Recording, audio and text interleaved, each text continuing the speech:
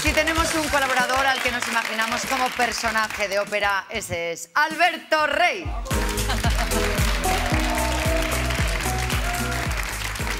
Oye, nos hemos quedado, ¿verdad? Sí. Sí. Cuando alguien tiene ese poder de comunicación, eh, en el- de repente se genera ese silencio en el plato. Exactamente lo mismo que va a pasar contigo, Alberto. Sí, pero bueno, Entonces, perdonad que yo voy a poner el nivel un poco más, que un poco no. más frívolo. Festival de series, festival de series porque no nos contaste Sí, todo. lo que todavía colea, ¿no? Pasaron muchas cosas en el Festival de Series. Una de ellas es que vino Frank Spotnitz, que es el, el creador de Los Medici y también uno de los guionistas clásicos de Expediente X. Ya veis qué, qué cosas tan distintas hace. Y bueno, estuvimos con él, estuve yo y le hice una entrevista y aquí vais a ver lo que nos estuvo contando. Buenos días, Buenos días. Frank, Frank Spotnitz. Su apellido es un poco complicado, así que déjeme llamarle Frank. ¿Puedo? Sí, claro, por favor. Normalmente series como Los Medici se ruedan en Praga o en Rumanía, pero esta vez se ha escogido Italia. Esa es, de verdad, una de las razones por las que quería hacer esta serie. Porque se trataba de Italia rodada en Italia. Algo que, como tú dices, es raro. Normalmente se rueda en sitios más baratos cuando intentas hacer un drama de época de esta envergadura. Hablemos un poco más de la serie. ¿Trata solo de dinero y sexo? Trata de dinero, trata de sexo, trata de poder. Pero también trata del sacrificio. Porque los sueños de Giovanni de Medici no podían ser llevados a cabo por una sola generación. Eso quiere decir que sus hijos tuvieron que renunciar a sus propios sueños y esperanzas para honrar lo que representaba la familia Medici. Para mí un culebrón tiene sentido si está anclado en una idea. No lo tiene cuando solo trata de manipular emociones sin motivo. ¿Y Dustin Hoffman? ¿Eras consciente de que sería un nombre tan grande? ¿Un polo de atracción tan potente para la serie?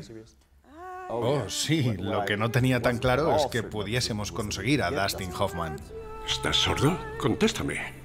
Necesitábamos a alguien que fuese creíble como Giovanni de Medici, que es el patriarca de una de las familias más importantes, si no la familia más importante de la historia de Europa. Necesitábamos una leyenda. Serie histórica como esta, eh, ¿es creíble? La producción es creíble porque esto es clave. La producción tiene que ser creíble, el espectador se la tiene que creer, pero no tiene que ser necesariamente una réplica de lo que había entonces. Porque otra de las cosas que me contó Frank es que lo que hay que hacer es adaptar estas cosas para que el espectador conecte, porque un espectador sería incapaz de entender a una persona del, del año 1500 así literalmente. Y aquí vais a ver algunas cosas que se hacen en los Medici al respecto. Mirad. Digamos que mantienes los hechos históricos. Los grandes hechos históricos están ahí. Pero nunca has jugado al ¿y si? Esto no pasó, pero ¿y si? El gran easy de esta serie es ¿y si Giovanni de Medici fue asesinado? Porque no hay registro de cómo murió realmente, no lo sabemos. Intentas buscar maneras de revivir el pasado, de emocionar a la gente.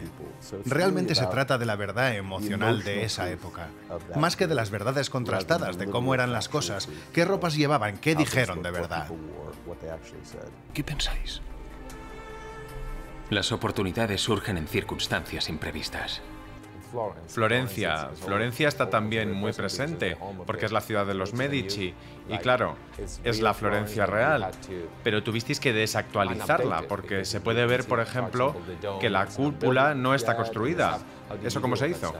La Florencia actual no se parece en nada a la Florencia del siglo XV, excepto en los interiores. Hay cosas que identificas hoy que no estaban en el siglo XV.